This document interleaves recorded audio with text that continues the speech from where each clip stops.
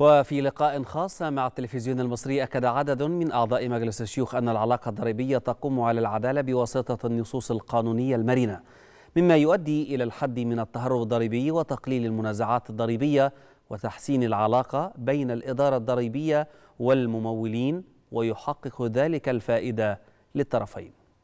إحنا كان لنا في هيئة برلمانية لحزب الوفد توصيتين مهمتين عشان تحصيل الضريبة. قلنا أول توصية لابد من تحصيل الضريبة من المنبع لأن تحصيل الضريبة من المنبع ده أفضل شيء للدولة تحصل ضريبتها بدون تهرب ضريبي وبدون ملف ضريبي وبدون تقدير جزافي. النقطة الثانية المرونة في التحصيل لأن لكل الدكاترة مش زي بعض. الدكاترة خمس ست فئات في التحصيل في اللي تحصل منه ممكن مئة ألف وفي ممكن تحصل منه ألف جنيه. كذلك المحامين برضو مش كلهم في فئة واحدة وبالتالي المرونة في تحصيل الضريبة ده هدف وتوصية هامة من أجل إعمال القانون وزيادة أثره التشريعي بالنسبة للأثر التشريعي النهاردة طالبنا أن يكون هناك مزايا للممول الملتزم.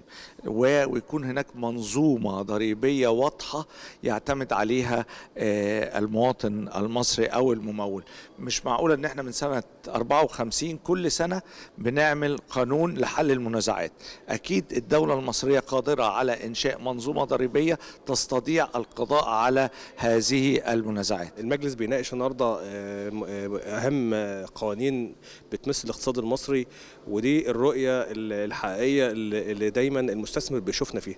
الضرائب النهارده يعني حاجة من الحاجات المهمة اللي لازم تخلص أي منازعات النهارده ولازم الممول سواء ممول مصري سواء ممول أجنبي يحس إن في اطمئنان ويحس إن النهارده فعلا الدولة في الدعم دايما للاقتصاد ودعم دايما للعملاء بتوعها ودايما الممولين.